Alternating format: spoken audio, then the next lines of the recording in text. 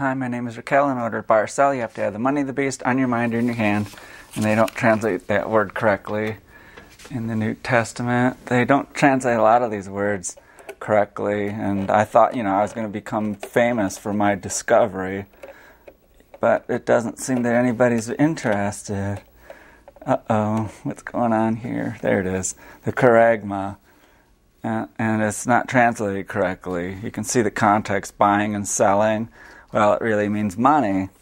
And here's the Liddell Scott unabridged Greek English dictionary that shows you the word charagma means the impress on the coin, or number two, stamped money coin. And another word they don't really translate correctly is this logos. You know, in the beginning was the word in John 1 1, but it's rarely the word. You see, it's rarely the word. And this, this, these are from a dictionary of uh, etymologies. And uh, you can see logic. So, whatever is in the beginning was the logos, and it means logic. And whatever's logical is of God, and what's not logical is not of God. And like if you look up the etymology of the word devil, it shows you that it means to slander.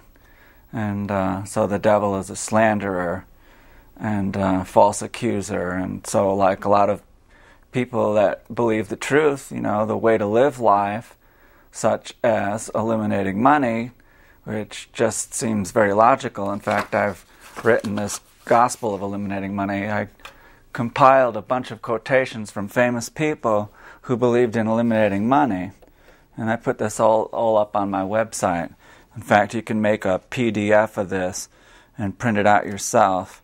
But a lot of famous people have believed in eliminating money, and I thought, you know, uh, you know, Jesus told his disciples to go forth without money in, in their purses, and the problem is this guy St. Paul. All these dumb Christians tell me that, oh, it's the love of money that's evil, you know, and that's what St. Paul says. But Jesus said you can't serve God or money. You'll either love the one or hate the other, or hold to the one or despise the other. But the Pharisees who loved money heard all this and scoffed, and that's in Luke 16. And so, you know, Jesus was a radical, and this guy St. Paul is the one who ruined everything. You know, the Gospels, it's a very terse, book. You know, it's not like these Muslims who have to memorize this huge Quran. You know, it's like a blessing for them. You know, they send these kids to these madrasas in in these Middle Eastern countries to learn about the Quran. You know, but you know, Jesus, you know, his logic and his his philosophy and way of life is just wonderful. You know, he says to um, give to the poor and love everybody. You know, it was like they had this movie when I was growing up called like um, the Go- Gospel or Godspell. That's what it was. And it was a musical all about Jesus and his disciples, and they were all a bunch of hippies. You know, they I don't think they didn't take any drugs, of course, but um, you know, LSD is kind of like a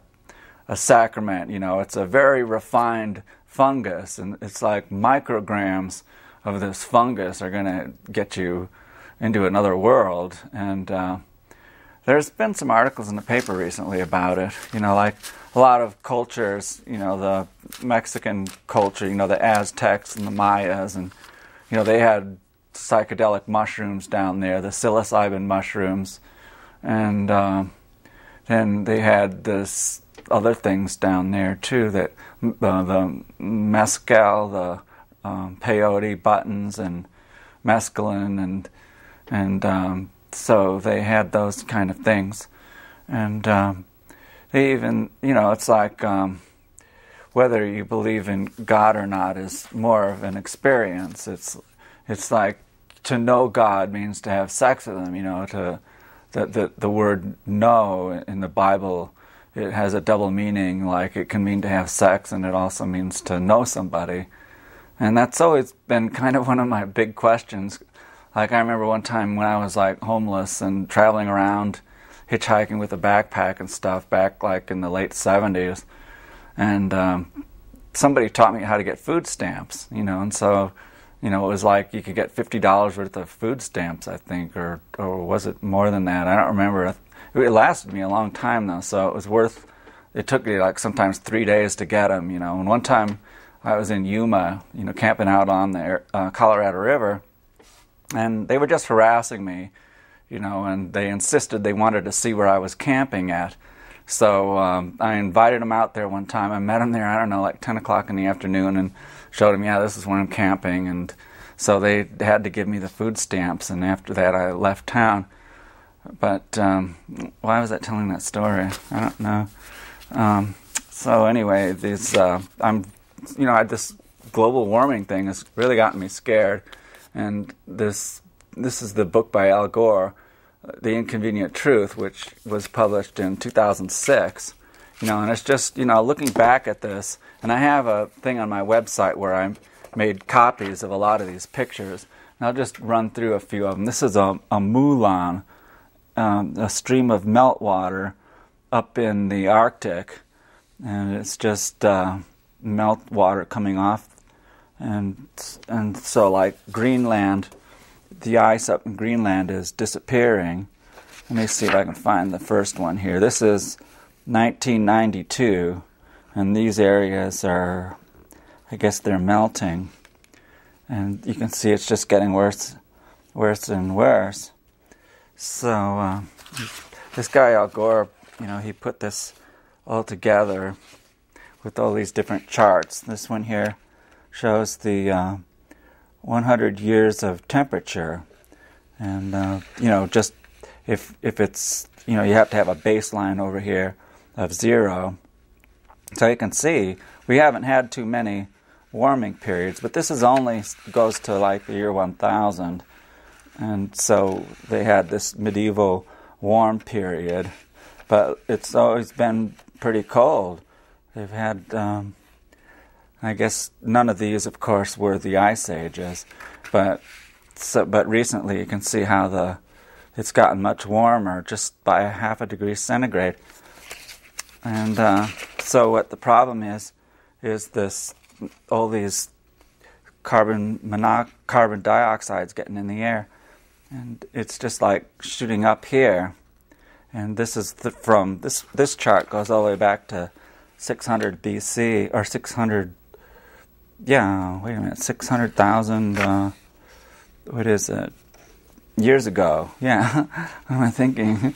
So yeah, it's that's how long ago it was, and it goes up here to uh, like 400 degree, 400 parts per million. This is an old book, you see. It's up here now, and it's just going to keep going up, and the temperature is going to go up, and and it's going to melt the ice caps, and then. Uh, but uh, and then after that, it's the methane is going to start percolating up, and they talk about 400 parts per million, but it's really a lot higher if you figure in other greenhouse gases like uh, methane and nitric oxide and other things that get in the air to keep the like greenhouse effect. You know, if you go in a greenhouse and the sun is shining, it gets pretty hot in there.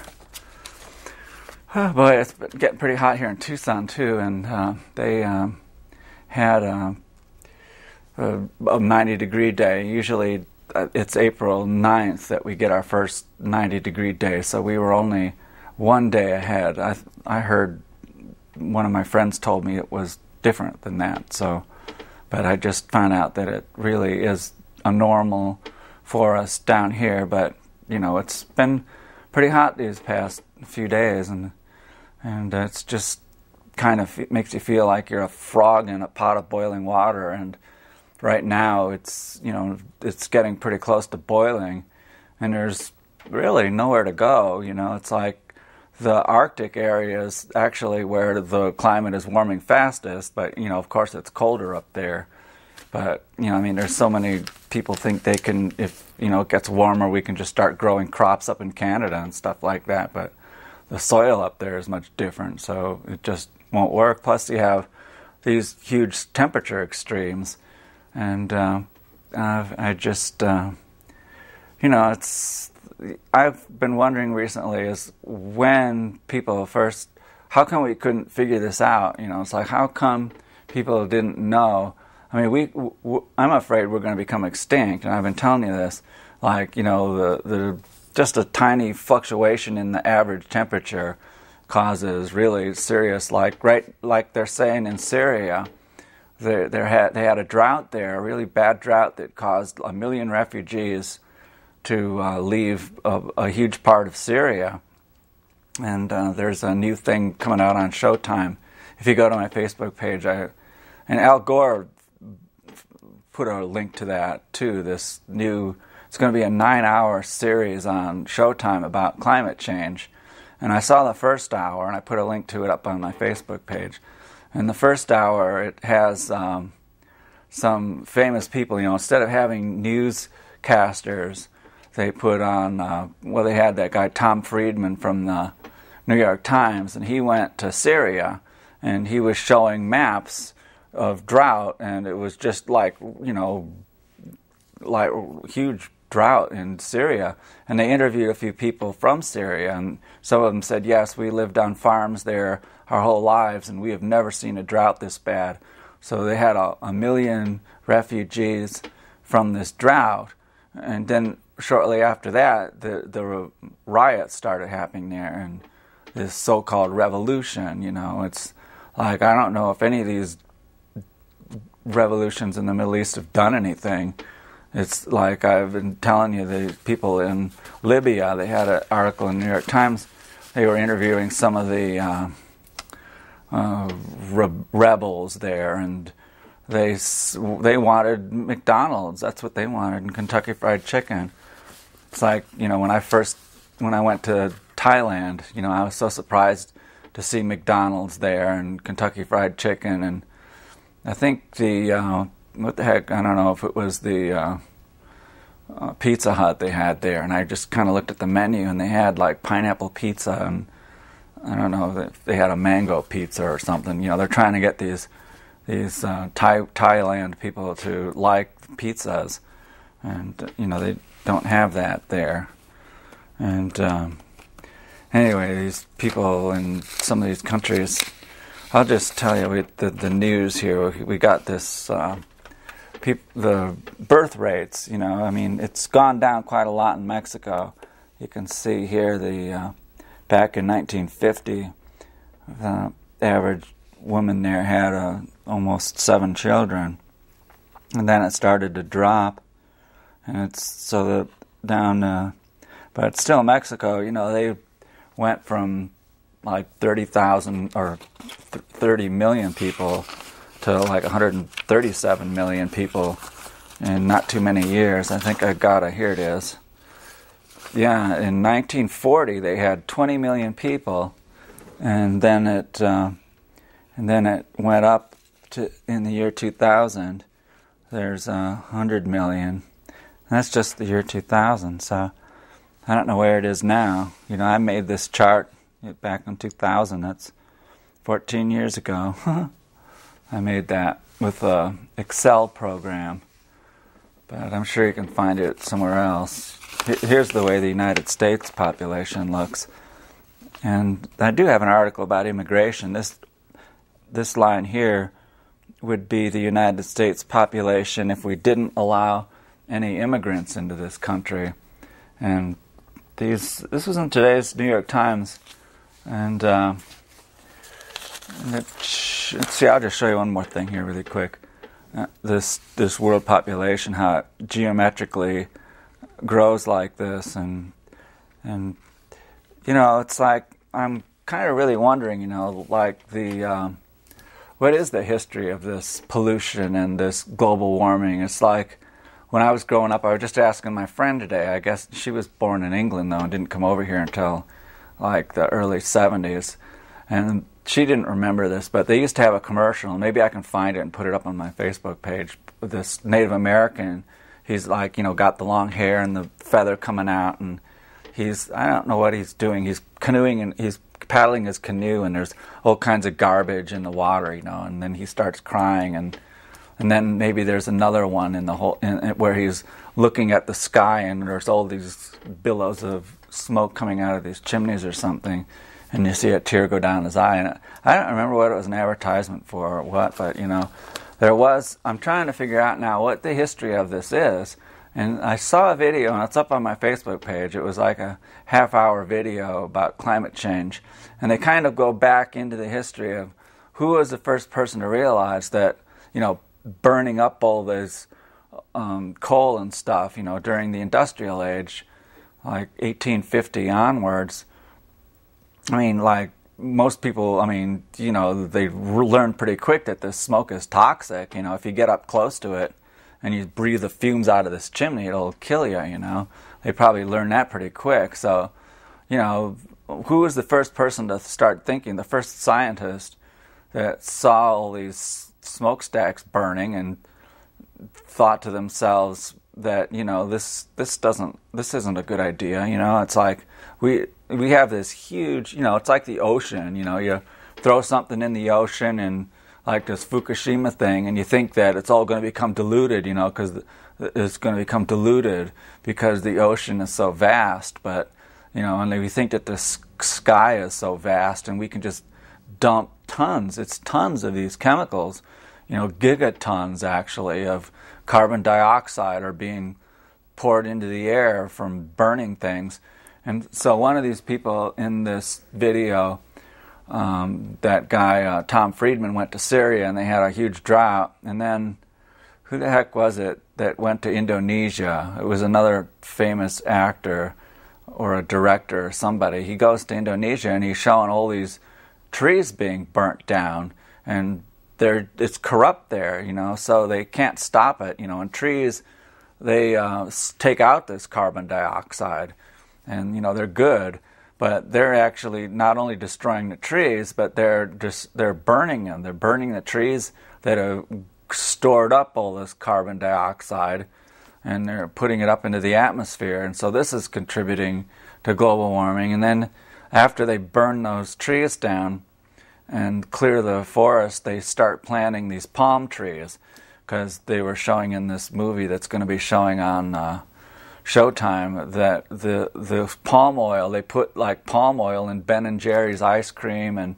they were going down the aisle at the food store looking at all this stuff that has palm oil in it and saying that palm oil is the leading agricultural commodity now. So um, you know, there there it's a nine part series, and I don't know. You know, I mean, there's not that many people that that know about this methane thing, and I didn't find out about it until just a, like a couple months ago, and this article was published in the Nation magazine, coming instant planetary emergency. And I put it up on my um, Facebook page. I seem to do everything on Facebook. It's like my um, website is really tanked. I think part of the reason is a lot of the links are broken, and I haven't fixed them. And um, I don't know. It's just it went from like like two million views to like 15 million now, or rank, you know, Alexa rank. But uh, so, like, who, how, I know they had a guy. I saw one of these movies, and I put it up on my Facebook page where they they show this. They inter, they tell you that this history of this climate change. Somebody back like in 1870. That's how soon they realized that. But I don't know what you know exactly his what he's discovered. I mean, or did he predict? I can't remember, but so that's what I'm more interested now in is, you know, like a history of the study of pollution, you know, and what were some of the early gloom and doomers, if there were any.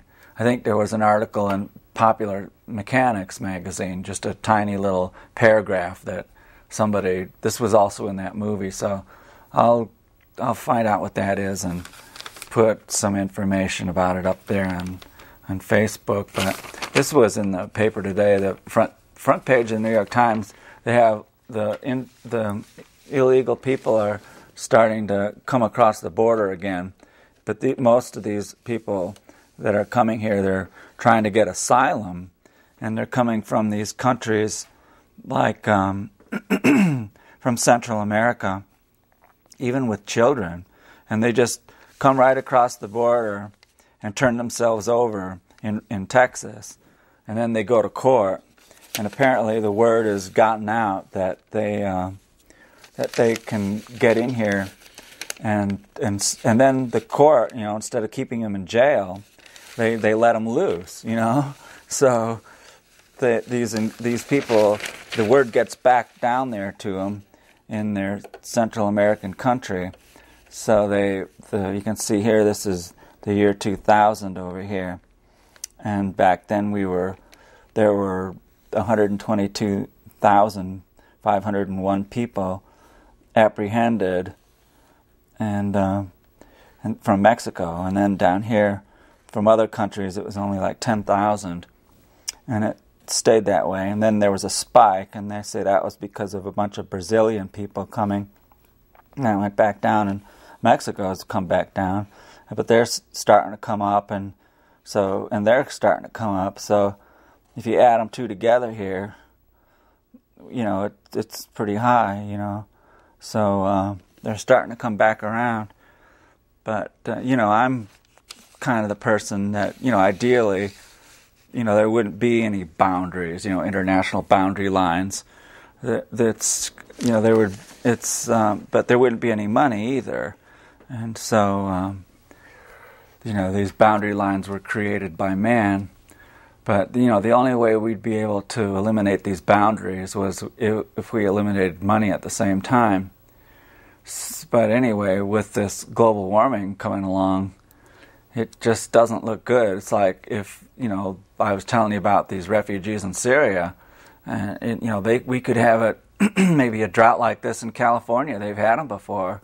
They've done those tree ring studies, and you know they've had like 500 year droughts. But this could be even another. It could be another drought combined with this global warming, and then this El Nino is going to come, but that might bring more rain. So, you know, we have these temperature fluctuations. They're saying this last March was like the third warmest March that we've had in the northern hemisphere, and it showed a map. An area where we live down here was warmer than usual. Like we didn't have any hard freezes, or even any freezes that I can maybe maybe a couple, but not many. And so the other warming areas was like Alaska and Siberia. They showed like dark red areas in Siberia. They had a really hot winter this year. And I've seen, I think I saw, I don't know if it was a video on the national news or something, but they're saying that it was like the the, the temperatures up in some of these Siberian cities was like 20, 30 degrees above normal. And the you know they had to canoe to their fishing areas they couldn't walk on the ice and get there or take their dog sleds.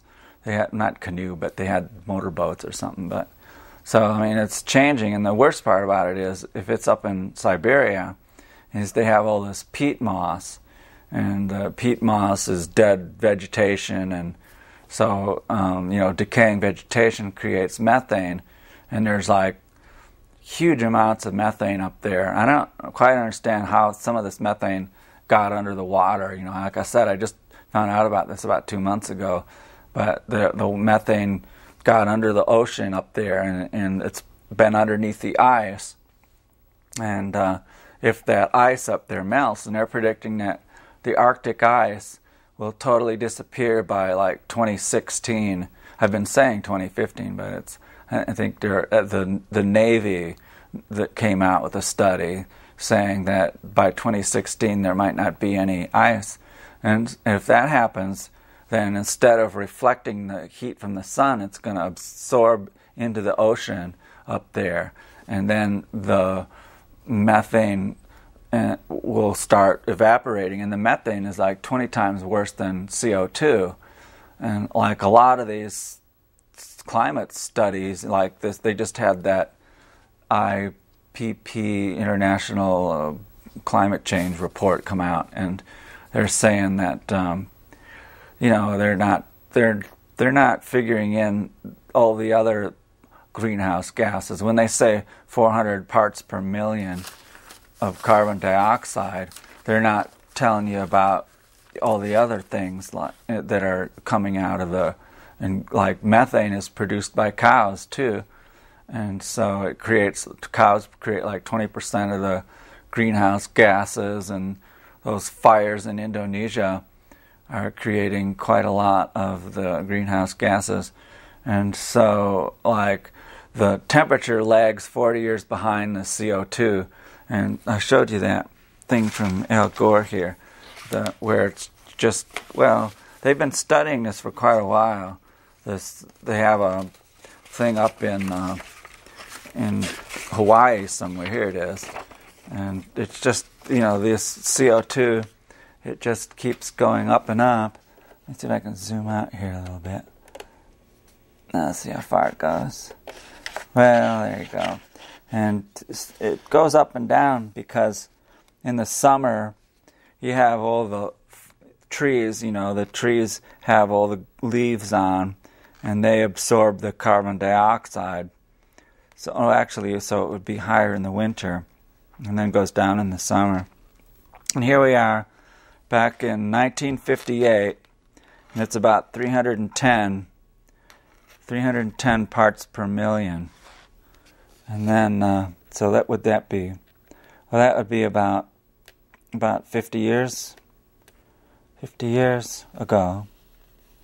And then now, well, I showed you before. This is an old book, but it's actually 400, and this this only goes to 390. So it's been slowly going up this carbon carbon dioxide. You can see there, but like they don't figure in all these other greenhouse gases, and they they've figured it out that like during these um, great extinctions, the temperatures have gone up and and um, caused great extinctions, and we're already having great extinctions. There's like 200 animals dying every day, I think it is, or going extinct every day. So, you know, it's like um, they had an article. What was this here?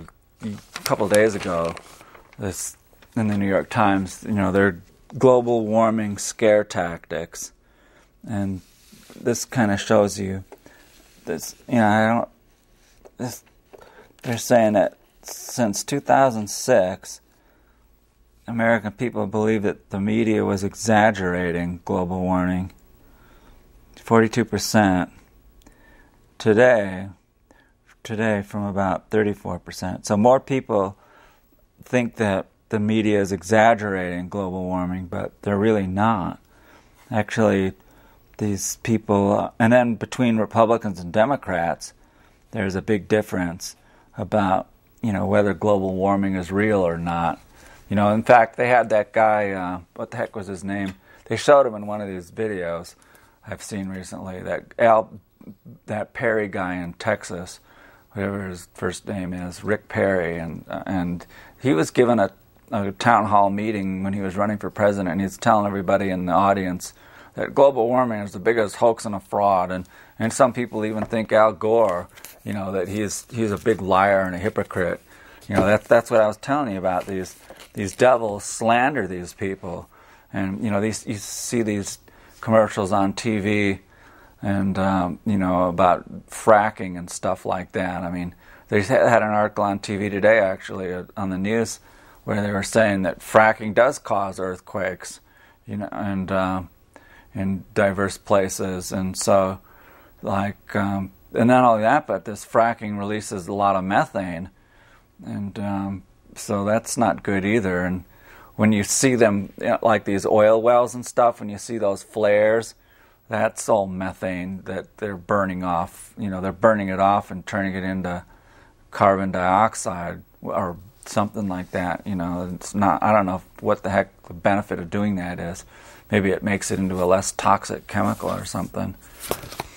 And then I got this today in the mail about the um, polar bears. You know, it's like I was trying to figure out. Uh, I mean, it's. It, I mean, I knew instinctively. I think a lot of people knew instinctively that you know things just can't go on like this. You know, with all this pollution and and all this, you know, they tore up the trolleys in Los Angeles and all the boulevards and put in these eight 16 lane highways through there.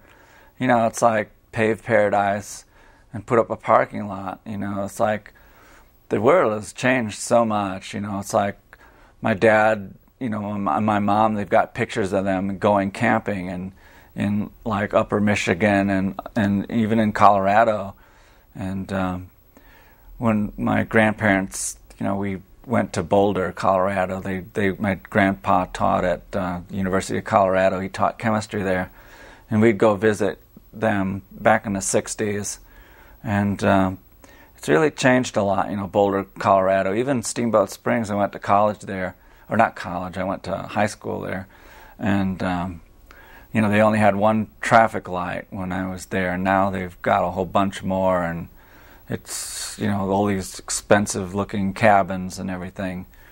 But um, you know, I just uh, there's this they're starting to talk more about it. There there's been articles about you know how much they talk about global warming on the on the news. They had a special a few days ago on NBC with Ann Curry about uh, global warming, and it, it was pretty good. They had one guy on there though that he actually said at the very end, he was a scientist. He said that he's taking his daughter to Denmark because you know the northern, actually the southern latitudes are going to last longer than the northern ones because um, it, it, all this methane is coming up from the north. That's where it's all located. So it'll take a longer time to reach down to the southern hemisphere. So, like all these people like John Travolta with his 747, he can take all his Scientologist friends down to New Zealand and and live out the end of the world, you know. And um, so a lot of people um, are well, and then the other guy on there on that movie that's going to be on Showtime. No, no, no. This was the one that was on NBC with Ann Curry, and they had another scientist on there, and he was saying well, we left this for our children, you know, to figure out, you know, and they're all going to end up cursing him. You know, it's like, um, I don't know, my mom uh, kind of uh, turned all us off of having children. None of my sisters had any children, and I never did. So, you know, it's like a question of, you know, I mean, I I would hate to have that kind of a burden. To it's to have to deal with. You know, it's like um, you know the way this world is, and you know the the unemployment, this funny money game we're playing, with this monopoly money, and uh, they have a guy, uh, this Mr. Lewis, who uh, wrote this book about these high-speed traders on Wall Street. It's all a big game that these people manipulate the markets with, and it's like you know it's I always resented these people making money off the sweat of my labor when I worked on the railroad. I kept thinking, oh, these guys on Wall Street, they, they're making a big profit off of me.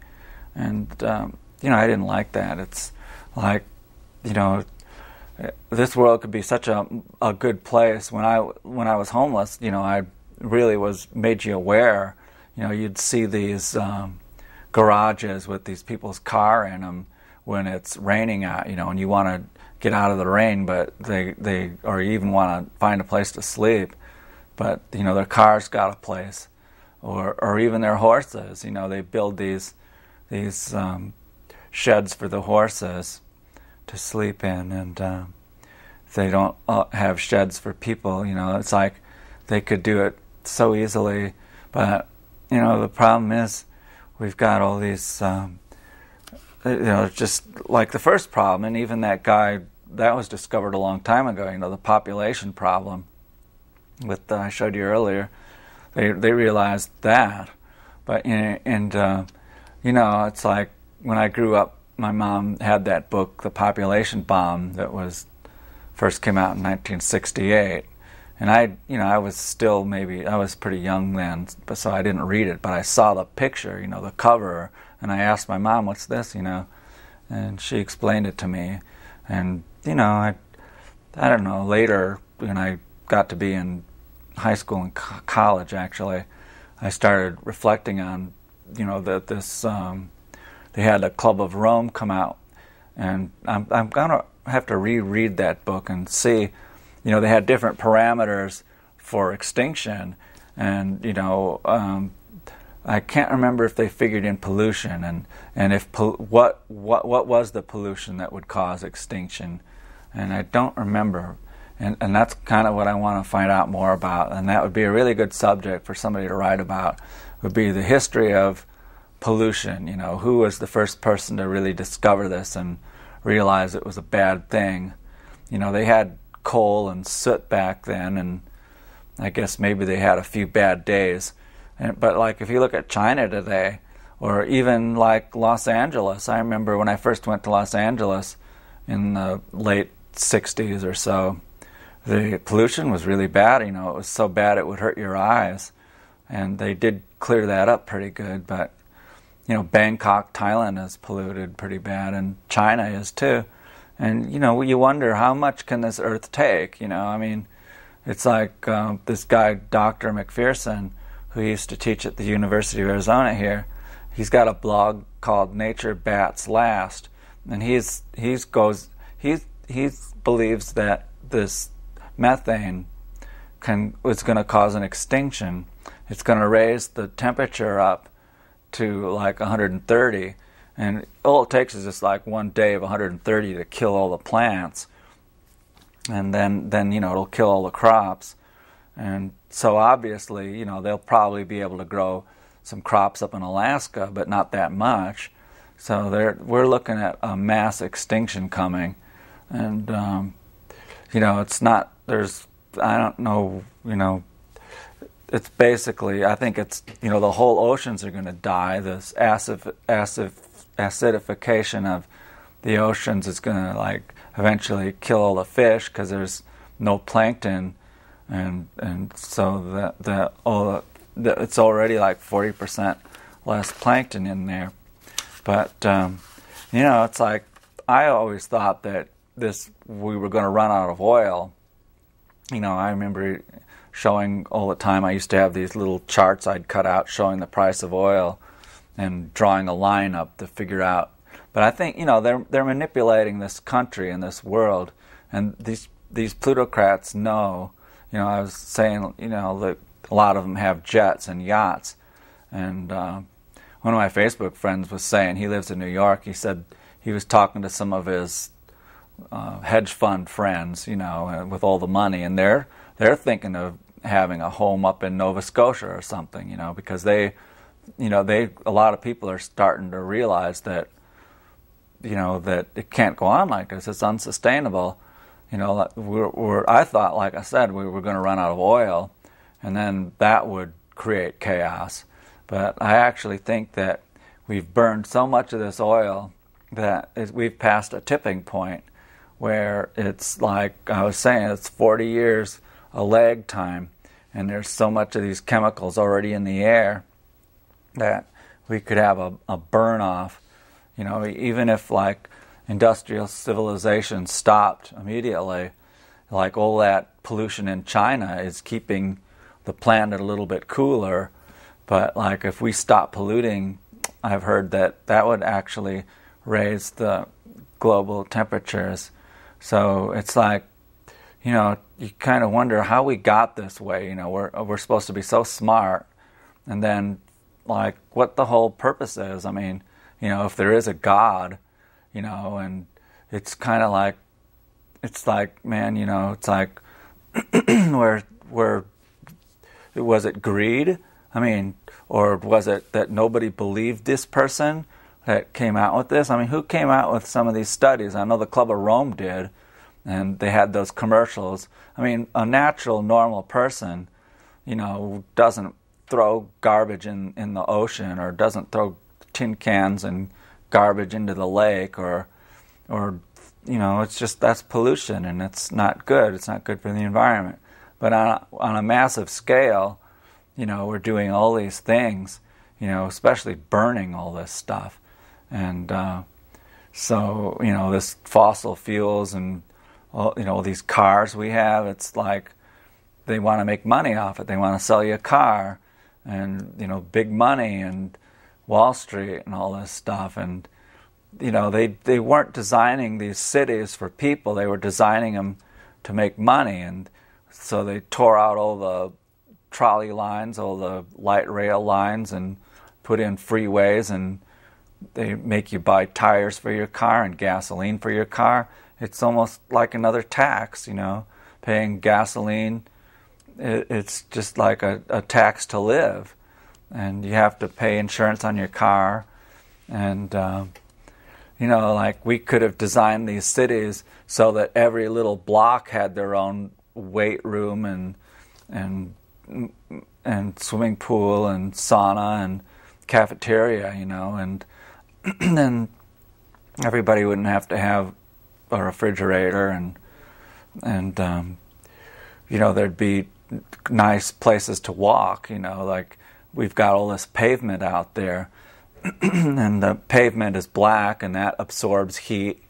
You know, I, somebody was saying, I don't remember who this was. I think it was on Facebook.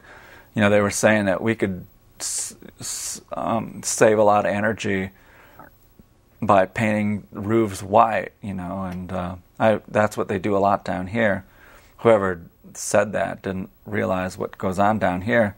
They sell this white coating you can put on your roof down here in Tucson, and it really does work. It reflects the heat from the sun and keeps the roof of your house a little bit cooler.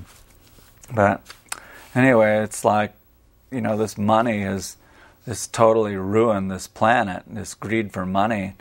And, you know, a lot of these famous people I've told you about, you got to go to my website and look up this gospel of eliminating money. It's, it's like I said, Jesus Christ told his disciples to go forth without any money in their purses.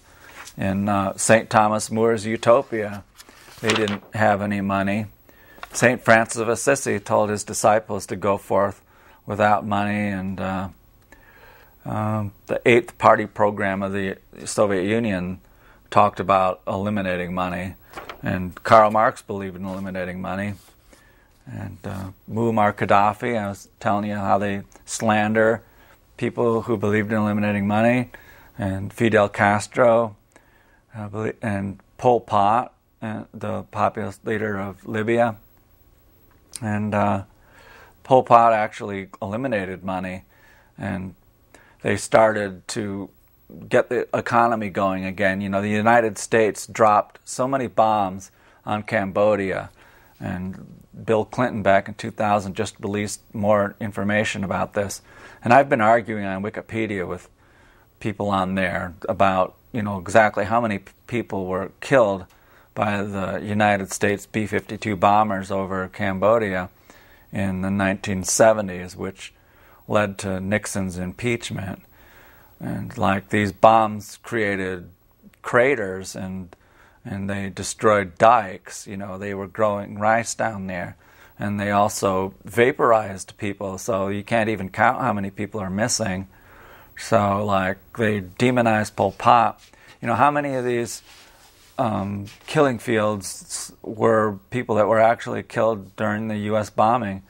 It's like to the victor goes the spoils, and Pol Pot was overthrown by Vietnam, and I, it's um, I think partly because the Pol Pot expelled the Vietnamese. He didn't want them there. It was kind of a racist thing, I guess. But um, he started to get things back together again, and um, and then they invaded, and so you know he would have been like the first like country to get rid of money, and uh, they had uh, like Castro. They didn't allow any Americans to go down there to see it. Because if they did, they would have realized, hey, you know, this this country is much better than Mexico is, and it's much better off than Puerto Rico is, and so they didn't want people to go down to to see what it was like in Cuba, and plus a lot of the gangsters were mad because when Castro um, got overthrown, they kicked the mafia out of there. But um, well, I got this book somebody recommended to me on, on Facebook. I'm they have these groups on Facebook of like-minded people, and and um, I belong to a couple of groups about the Kennedy assassination. So uh, here they recommended this book by uh, David Talbot, I, my question was, what did Bobby Kennedy think of his brother's death? And so this person recommended I read this book. And I haven't had time to read it yet, but I, I read the back and I look at the index, and they mentioned E. Howard Hunt and Frank Sturgis in here. Well, at least E. Howard Hunt. I, I can't remember if they mentioned Sturgis. But, but um, so, I mean, this sounds like a, a really good book. Oh, yes, they do mention Sturgis. I can see it right there. And like I was telling you, that they arrested these guys in back of the grassy knoll. There's a picture of the people they arrested right there and there. And then uh, that's a picture of you, Howard Hunt around the Watergate time when they got arrested. And uh, like uh, so you know Nixon was in Dallas the day uh, before Kennedy was assassinated, and and Gerald Ford was on the Warren Commission. Ronald Reagan was on a commission uh, set up by the Rock. It was called the Rockefeller Commission in 1975, and they covered up this assassination. And uh, so, you know, I mean, like Al Gore, he lost that election down there in Florida. I think that was a big setup, and uh, you know, it was in Jeb Bush's Texas or Florida there, and so. Uh, you know, Al Gore lost. It would have, you know, if Al Gore would have won, we'd have had a better country too, because Gore was aware of this climate change. But I don't think his tax credits would have been enough to do anything. But this guy George Bush ended up, uh, you know, he realized that we have to get this oil any way we can, and then he allowed this 9/11 thing. And if you Google World Trade Center Building Seven, that's what this is WTC 7 collapse. You can see how it just came straight down in like zero seconds, then one, two seconds, and three seconds. They, for some reason or other, they blew up this World Trade Center Building 7 on 9/11 too. And there's there's other controversies like this Pentagon thing. They they had a hole that was blown out. You know, they have like rings in the Pentagon, and like the third ring, it was like a perfect hole in there, and uh, and you know there there's no evidence that they recovered any engines in there from this airplane. They were great big engines. Why didn't the why didn't the engines show you know damage anything? Because the building collapsed later. I mean, there's so much behind this. It's like fires have never destroyed a steel frame structured building before. And there was a petition recently to get on the ballot in New York to have a study, you know, a forensic study. I mean, aren't people afraid to live in, in high rise buildings? It's like, I mean, maybe you could come straight down like that. I never thought, you know, when I first heard about it, that a building could come straight down. I says, what do you mean? You know, like if an airplane came into it, you would think the top would fall over. It wouldn't just come straight down like that. But that's exactly what it did. And if you look at like pictures of ground zero, all you'll see is a bunch of girders. You know, there's no glass, there's no desks. Everything was pulverized. You look at those clouds, it was a pyroclastic cloud of dust, and it covered lower Manhattan like several inches deep. Here's a picture of the pyroclastic explosion. There was some kind of a, a bomb inside this um, World Trade Center building and I think it was a thermobaric bomb. Uh, and it wasn't a nuclear bomb because they could have detected the radiation. They had people on the ground checking the radiation. But there's like um, a really good book by David Griffin about Building 7, and I didn't bring it with me. But the, so, you know, that George Bush had to get that oil to keep the ball rolling here. You know, Saddam Hussein wanted to deal oil in uh, in his own currency, and Muammar Gaddafi wanted to start his own currency, and so I hear China and Russia might start doing that now too, start trading their oil in a different currency. So anyway, they've got um, this funny money and and all these other things. Here's a picture of uh, Miley Cyrus, and I just want to show you this really quick. She's got this outfit on and there's like a big marijuana leaf there, and she's got like marijuana leaf um, glasses on, and it looks like this says something like advisory adult something. I can't read what this sign is, but anyway, I, I think that um, you know these people are just totally oblivious to what's going to happen in the future. And anyway, goodbye. God bless. Peace and love.